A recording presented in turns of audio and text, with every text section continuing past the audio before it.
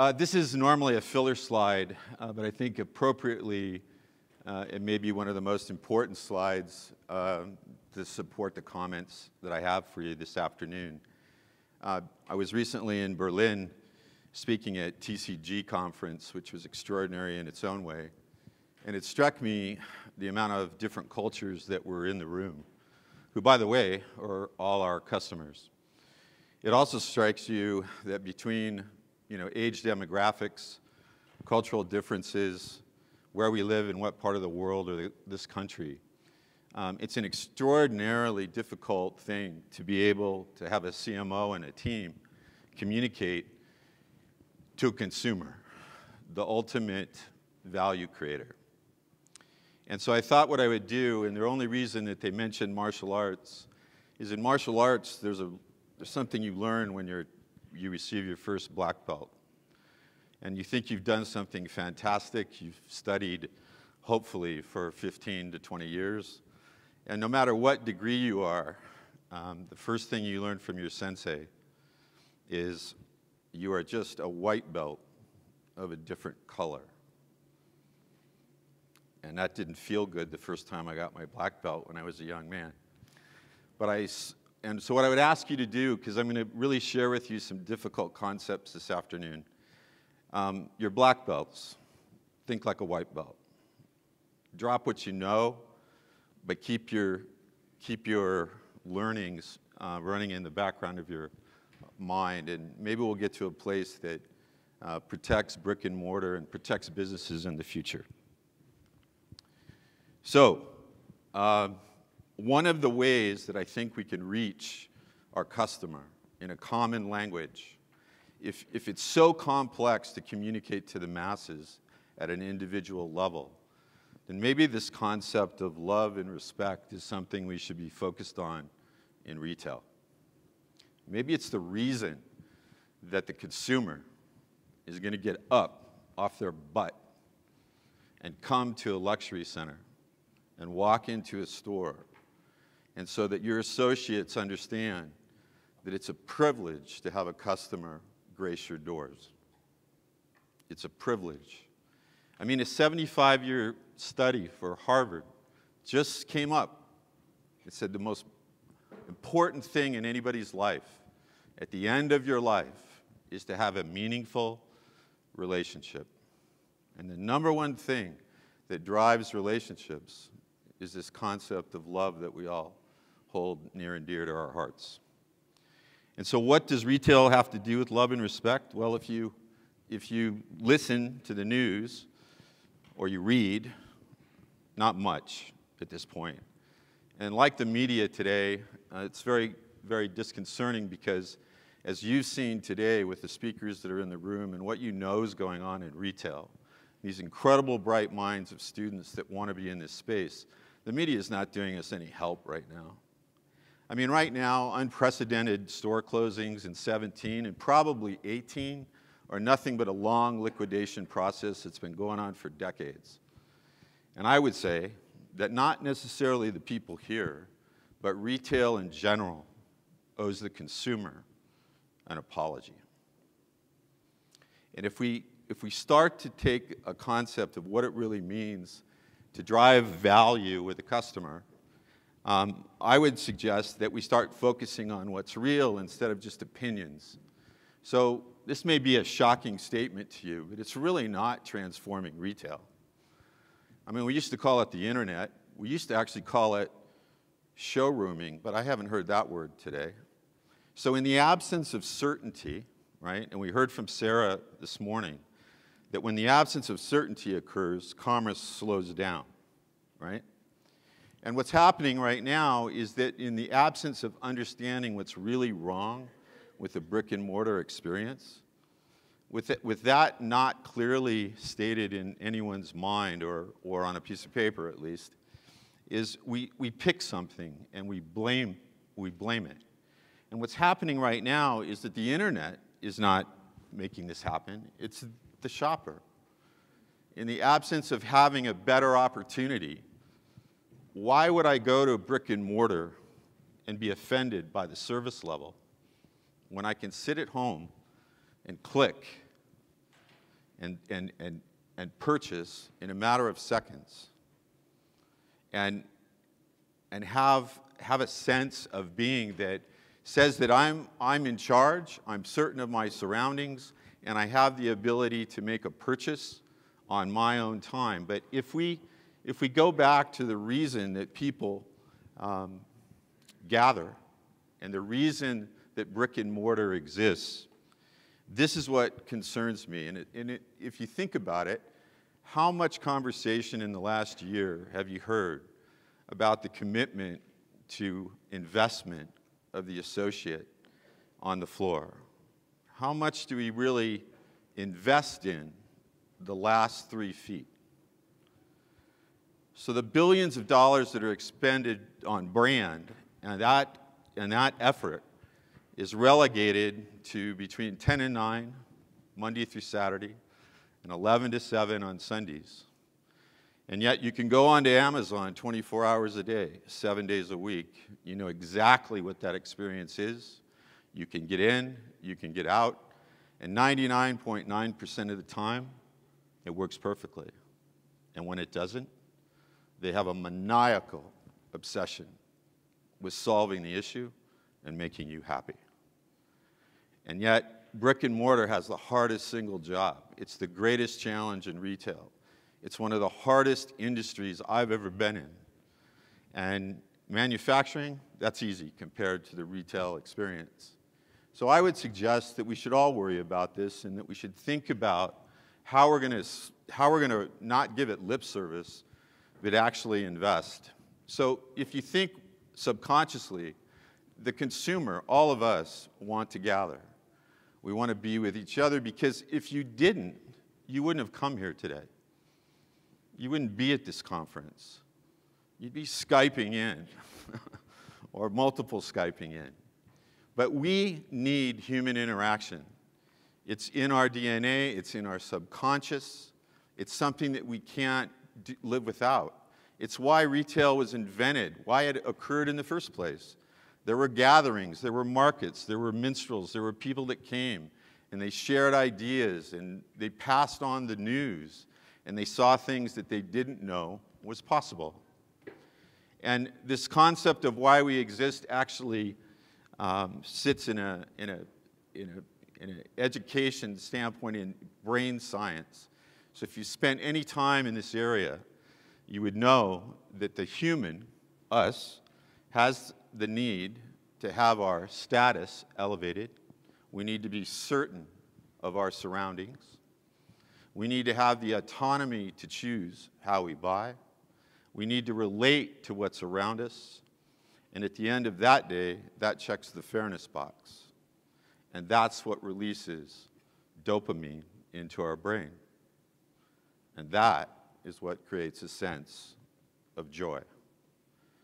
So while you were wearing for most of the day a beautiful scarf, I would gift you that acronym, SCARF, Status, Certainty, Autonomy, Relatedness, and Fairness. But what do we measure? We measure a lot. Um, let me, a show of hands. How many of you have received data, information, reports, decks, and you've read it for your business, and over the weekend, you thought to yourself, that was interesting, but did I really learn anything from the data? Raise their hands. Be honest. Yeah, it's about 100% of the room. And what I don't want you to feel is that I'm against little data, big data, machine learning, because coming from manufacturing and service businesses and retail, I know how important it is but I also know that it can be a tremendous blinder to what's got to be viewed as the most important piece of data there is, and that's right here, is raising our customers' status in our stores. It's getting our associates to understand a very, what seemingly is an easy concept, but a difficult execution. And that is that when a customer decides to gift their time in our stores, that is the greatest gift, and it is our job to do one thing, and that's to make the time in that store the best part of their day. It's not about selling something. It's not about creating the buy. It's about you have no idea what's going on in that person's life when they come into your store. They could have had phenomenal news. They could have suffered the death of a child. They may have a sick parent. And whatever that is, you have to find a way to instill a sense of care and comfort and love and respect so that your brand is held in a different place than just the concept of a recognized name and a product or service that the customer is predisposed to buy. So this intersection is very difficult today because of technology. And I think instead of starting with technology, let's go back to a fact. And that fact is we want to gather, we want to go to a center. You've got incredible developers in retail all over the world spending billions on resets right now to create environments. But retail has a responsibility to be a part of that environment and to make it connect so that the customer is learning, is dreaming, is playing, and choosing in an elegant way. So if you break it down where the competitive point is to internet purchasing, and you start with experience, and I think this is a great quote, but really, in the end of, of, of the movie, product is going to clearly be just the experience. This gentleman, um, whom you all know, um, this was a great quote. And it wasn't really how the product looks, but it was how it works. Think, think about your iPhone, particularly when you don't have a cover on it, right? It has a warmth to it. It has a tactile sensation to it. It has smooth edges. Its fit and finish is extraordinary. And how it works, it makes you more efficient. And for most of it, it's just anchor to reality today. We can't live without it. But what if those two things aren't enough? And what if design and experience won't sell the product? And what if learning is a key component? In my, in my last six and a half years, I learned a lot about the consumer. And I learned that the consumer wants to know what's possible. They don't want endless choices, but they want to be able to come in and they want to be able to spend time dreaming about how to live a better life. They want to touch and feel and play with things. And they want to choose in a way, yes, that's efficient. Therefore, we created words like omnichannel. And all that's good. But, but the purpose of connecting with another human being and watching people around you in a store is the validation that, wow, that person's interested in what I'm interested in. And the conversation begins. And the fear is if we don't get this right, and that if technology and internet just drives the experience, the design, and the learning, then we're not going to be together. And here's what I can tell you. The number one, well, top five reason that the US economy is the strongest economy in the world is simply because from the moment we get up in the morning, it's the velocity in which the dollar changes hands.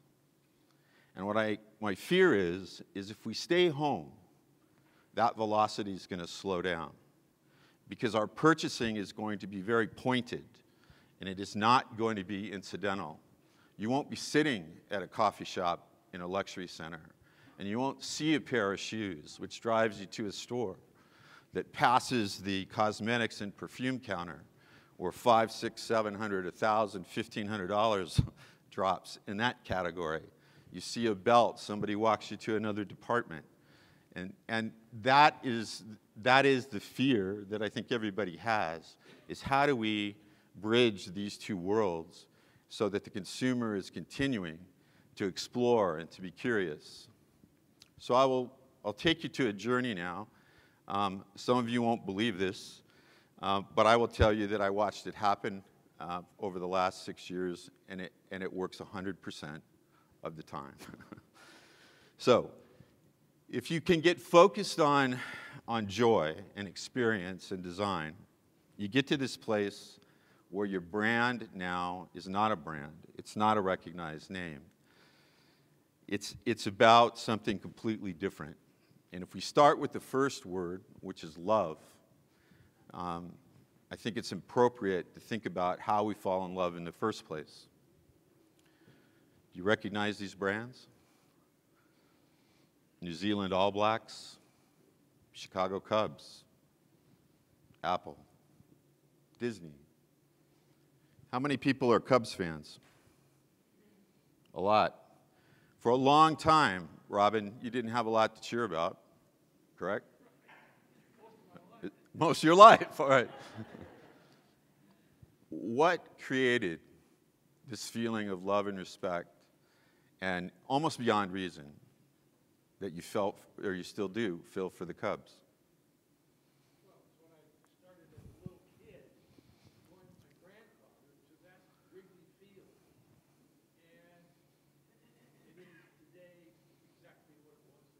Right. And, it, and the people and the team and the stadium and the associates have that same feeling, right? They have that same feeling. When you go to Disney, how do you feel? Anybody? Don't be shy. Yeah, yeah. You have the sense of childhood that comes back, right? It's memories. You know, the original Disneyland opened in 1955, the year I was born. I went there. I went to Disneyland for 22 straight years.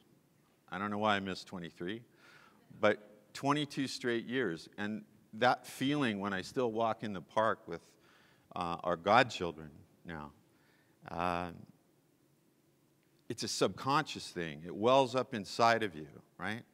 And that's what world class brands do. And it leads to a, a, discussion, particularly with companies like Apple, who are, who are virtually very, very new, right?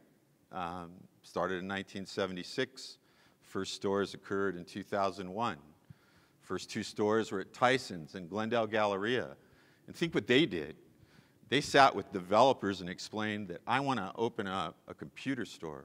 That wasn't a good story in 2001. Does anybody remember CompUSA? Does anybody care that they're not here? Probably not. But what happened in 2001? That store opened, and people came in, and while there wasn't much of a, there was no iPhone, it was an iPod, right? And a funny looking shaped computer. But people dreamed, and they played, and they learned, and then they chose. And they broke the mold. No different than Tesla should be on this right now no customer survey, let's be fair, would have ever said, hey, time to start a new car company,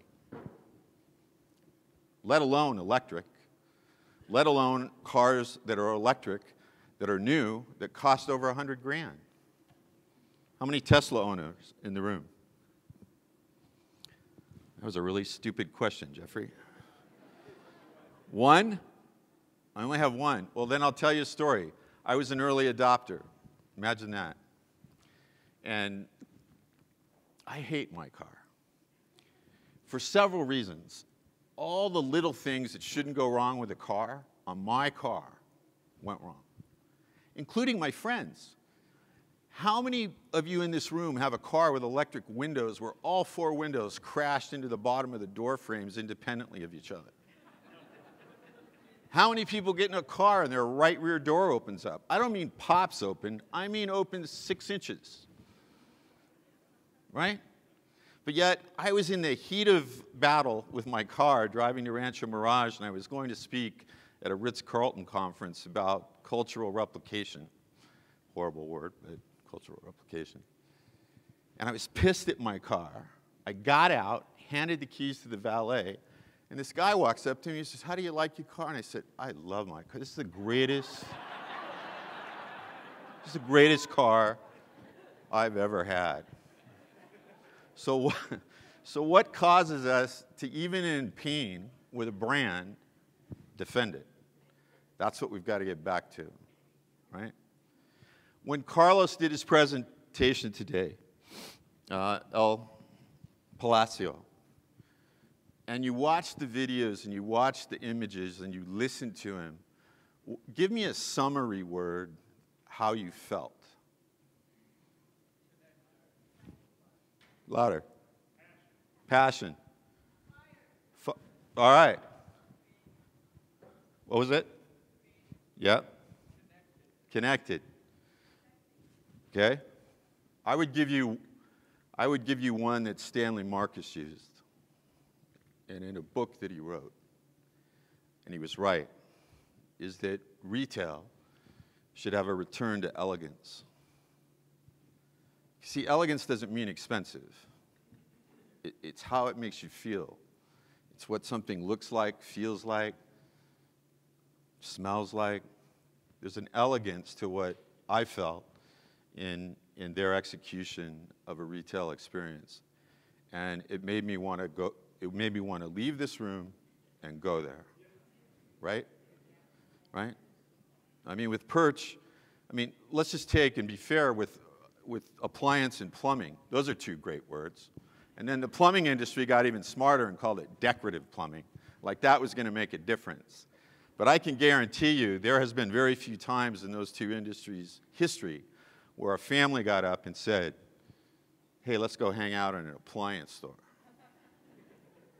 Right? So I'm going to give you a graph. I have to have a graph, or you'd be disappointed because we want to measure stuff. So I'm going to give you two different quadrants, and the quadrants are the what we've been talking about, which is love and respect. And I'm going to suggest to you that this is the way the future of business is probably going to look. That, yeah, we'll have commodity products, not, maybe not a lot of love, maybe not even a lot of respect, and, and fads are going to be in the lower right hand side. And instead of brand, world class brand being in the upper right, I think it's shifted to the left. And I think there's a transformation that's going to have to take place where world class brands, online or not, brick and mortar or not, are going to have to transition to this concept of how do I connect with the customer in a way that gets Jeffery to defend me when he was about ready to drive the car off a cliff. Right?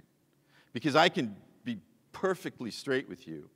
If I had had a Porsche or a BMW or an AMG Mercedes, and that shit was happening with those cars, I'd be invoking the lemon law in California at this point. I wouldn't have been defending it. And this is a hard place to be. So here's where you got to ask yourself the question whatever business you have, or whatever business you work in, or whatever business you're leading or you own, if it didn't exist, would anybody care? Well, I believe that if Apple disappeared, and probably Tesla to some, only one or two in this room, that people would care. There's a lot of great brands, if it didn't exist, people would care. But nobody cares that Linen and Things isn't here anymore. And nobody cares um, about CompUSA. You said it. Uh, it it's, it's a, and think about one more thing if you, if you think about the transition of tools for the savvy shopper, go way back. Sears had catalogs. You could buy homes from the catalog. And then amazingly, there was a Sears store. Think how that must have felt to the savvy shopper, right? When I was young, a little kid, five, six years old, my parents used to take me to department stores, and they were always downtown and I'd have to get dressed up. I was in a little suit and tie. And I can remember sitting in the restaurant. And I remember these beautiful women, not when I was six, I now know they were beautiful women, walking up, elegantly dressed, spinning around, and saying, You may find this on floor five in Couture. And then what happened? The developer created a mall. Maybe, maybe not tech savvy, but for the savvy shopper, that was a better way for us to use our time. So is really that a new concept that tech is changing retail? No, I think it's just a tool and it intersected a point in retail where investment stopped in 08. There wasn't a lot of momentum. There's a tremendous amount of uncertainty in investment. And what I would suggest to you that the deferred maintenance that sits on many companies' balance sheets that prevents companies from reinventing themselves, maybe the deferred maintenance is the lack of investment in people and the human experience. So here's the first learning if you're going to go down this path, because it takes guts, is you have to completely disrupt uh, the physical execution. And I picked this picture for one reason, uh, not only because of the company, but because that piece of real estate right there was the most underused, underdeveloped piece of real estate in New York. There was no store there. And it became one of the highest grossing stores in retail history. And I was there three, four weeks ago, and what did you see?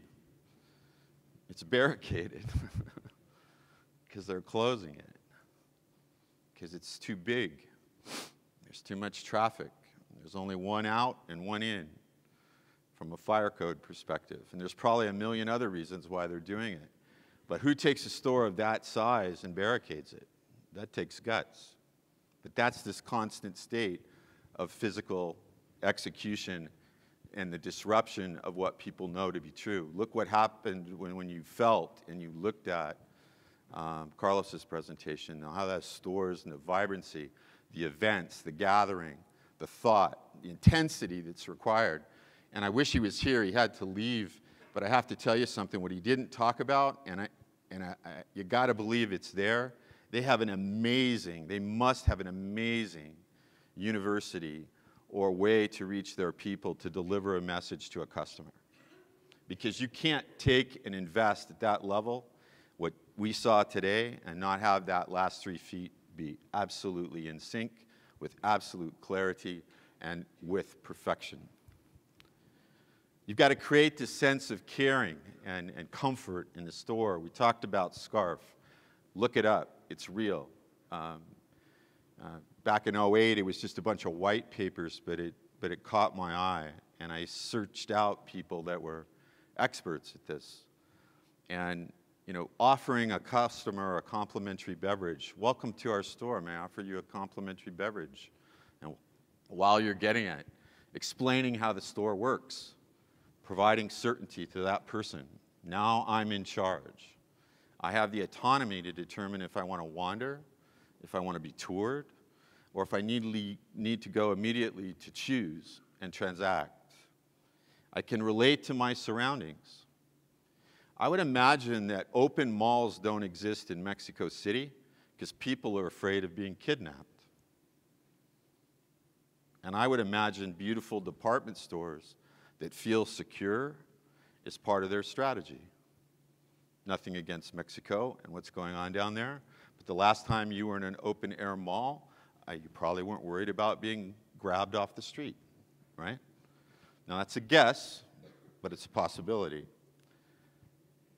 And along the way, we got a surprise and delight constantly, and I think that's a theme that's gone away. And this doesn't have to be expensive stuff. This just can be wonderful things that you do for the customer. And, and you can't really plan it, so you have to invest in your associates, and you have to give them the power to do this. And again, that's another big step and another breakaway from processes and procedures, right? And we have to spend time on that. But we also have to spend time on the outcome. We have to engage the senses. And yes, we all pay attention, unfortunately, to four wall economics. But maybe this is the five walls right here of your filters every day that you judge the experience in your stores. Are you hitting on all five cylinders? Because if you're not, the customer will turn off. So while raising someone's status, creating certainty, autonomy, relatedness, and fairness, clicks the button on dopamine, and creates a sense of joy. Let me tell you a different story. Has anybody ever gone home to their husband or their wife or their significant other and walked through the door and said, Honey, I'm home, and all hell breaks loose? Me see uh, a, let's raise some hands on that one. Yeah. So, what's happening there? Well, it's the opposite of scarf in a good way. that person's been scarfed. Somehow their status has been lowered. I walk into a store, no one even says hello to me. Subconsciously, my status has dropped tremendously. If I start to feel uncertain about my surroundings and how things work, I go to a deeper level. The same thing happens in a personal relationship. And what I can tell you in that, unfortunately, when dopamine gets released and you have a sense of joy, depending on your makeup physiologically, it lasts six to 15 minutes and it can be reaffirmed, re injected. But if you go the other way, you come home and all hell breaks loose. That can last 15 minutes to two hours. Those are three different chemicals entering your brain. And that's got the same feeling of physical pain. And so you would be better off giving your husband, wife, or significant other four Advil and a glass of water and leaving for two and a half hours. Now, I wouldn't suggest that at that moment, but it's the truth because there's nothing you can do to change that chemistry in that person's body at that point. Now, if you have stores that engage like this, and the average time in those stores are an hour, hour and a half, two hours, then even someone that's in a bad place with your care and comfort can change their perspective. Now, here's the hard part of making this execution. Um, and when I say hard, it, it takes commitment from the leadership of the company at an 80% level with your associates. It's a different way of thinking about clarity. So if you think about five buckets in a business, vision, strategy, operating excellence, business plan, and clarity, this is the hard part. It's the quest, right? We talked about, no, no survey said Tesla was needed. No survey said an iPhone was needed. Not at all. Nobody said Amazon Prime was needed. So, what's going to happen in leadership going forward in any business, and particularly this industry, is what Terry said earlier today on stage. He says there's no more room for incremental things. Retail's going to have to make some big bets. And you're going to have to use data, and you're going to have to use your black belt um, to inform, but you've got to have to have the decision speed to make that bet because I don't think brick and mortar has a decade to change. I think we're going to pick up um, a, a doubling of the power of the choice through the internet that's frightening, and it will affect different industries um, at different stages. Um, some will have a little bit longer, some will have a little bit less. And this is, this is kind of where we got to live in a store. This is what your people have to be taught. So it's one thing to talk about a washer dryer, an oven, or a bathtub. It's another thing to teach your associates that it's not a bathtub. It's 45 minutes of sanctity or sanity for a working mother. And a, a washer and dryer is not that. It's the caretaker of your child's first blanket.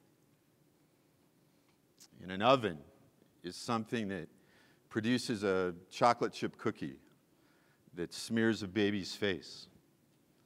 And your grandmother takes a picture of it. And you have it in your wallet the rest of your life.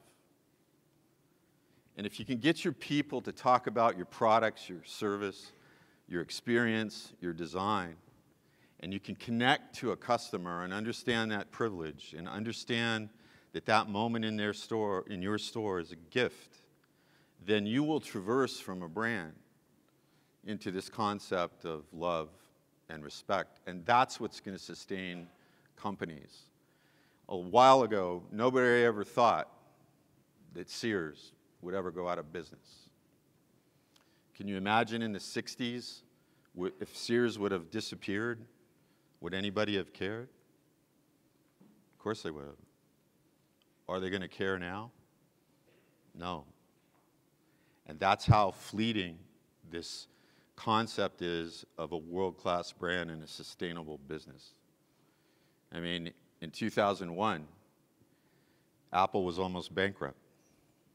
And look at the position that they hold in the world today, and they deserve it. But I bet you Mr. Cook gets up every day and instills in his people that that could disappear as quickly as it came to fruition. So, this concept of human to human is not new, it's just hard to execute. And it takes commitment. And it has to, again, start with the leadership of the business, the very top. And that is a time commitment. It's not, yeah, I believe in this. It's, I'm going to go deliver it almost store to store. Now, if you get to this point, what I have learned is that when you've released dopamine into somebody's brain, it's a tremendous responsibility. And the only way to get it right is your people have to understand it and truly want to serve. And it has to come from here. It has to come from your soul. Because if it's a script or a playbook, it's not real. And when you're dealing with subconscious and chemistry and human emotion and love, that can easily turn into manipulation, and then that customer will hate you for the rest of your life. So, what I would ask you to think about is this fierce commitment to deliver a culture in the future that's sustainable and has a message that's felt, that's simple, that they clearly understand. Treat your people 1% to 2% better than you treat your customer. Because if you don't, they don't know what it feels like, and they don't know how to deliver it. And that leads to a story. Um, I wrote down on a piece of paper in the last business I was involved with, um, Jerry asked me, what would be the greatest single compliment that anyone could give you um, in this appliance and plumbing business? And I thought about it, and I said, you know what would be cool is if I was standing in a store and a woman came up to me and said, I understand you were partly responsible for this. And she said, I want to let you know that you talked me into putting a woodstone hearth in my kitchen. And my daughters were 9, 11, and 14. And that one thing caused me to have Friday nights with them every Friday night. They didn't want to go anyplace else. They invited their friends over, and we made pizzas together. And now they're off to college. And it changed our family unit. And that didn't happen, unfortunately.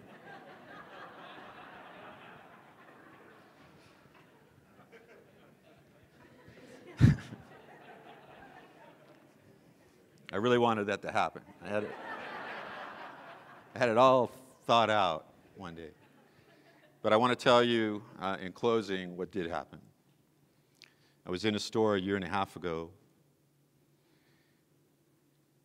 and I, had a, I was talking to uh, an individual in the front of the store, and out of the corner of my eye, there was a woman that got up from the barista bar. She's all dressed in white, maybe in her late 60s, early 70s beautiful white um, hair. And she walked up in front of the store and she interrupted the conversation and she started rubbing the top of my head. and that was uncomfortable at, at, at, that moment. See how far we've transgressed from the story, but no. so, and when she did that, she put her hands on my outside of my shoulders, and she says, I want to let you know that I, I looked just like you two years ago. And I live on Nobel Drive in San Diego, which is about a mile from this Westfield property. And I didn't feel like I could go out in public. And I didn't want to go out in public, and I didn't want to engage. But the people in this store made me feel welcome. And I came in here and I'd drink some weak tea, and every once in a while, uh, the chefs would make something for me.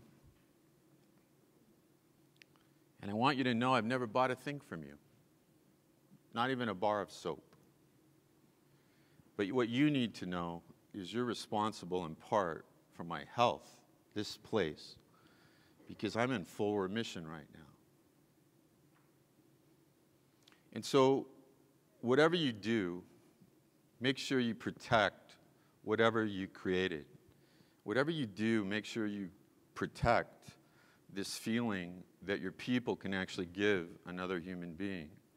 Because if you do, then we don't have to worry about much because humanity is going to be the new luxury.